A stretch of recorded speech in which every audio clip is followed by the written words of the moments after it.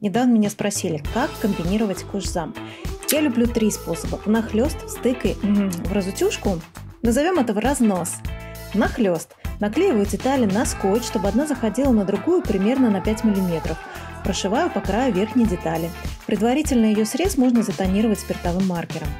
Стык. Соединяю детали четко срезами. Если дальше они будут на жесткой основе, этого достаточно. Можно дать декоративные строчки.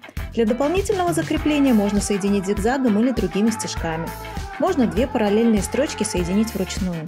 В разнос! Соединяю детали лицом к лицу и прошиваю на расстоянии 1 см от края. Продавливаю контур прямо по строчке, раскрываю шов и делаю отстрочку по лицевой стороне, фиксируя припуски внутри. У этих способов может быть множество вариаций. Фантазируйте!